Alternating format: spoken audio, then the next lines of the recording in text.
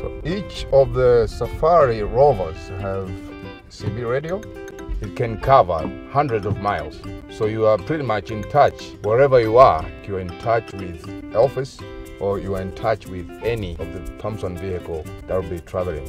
When you're traveling in a group, like let's say three vehicles and maybe one of them is far ahead and one is far behind and you find the best site to say leopard or cheetah or any exciting sight is able to call the other vehicle that are behind or ahead and come and share the sight.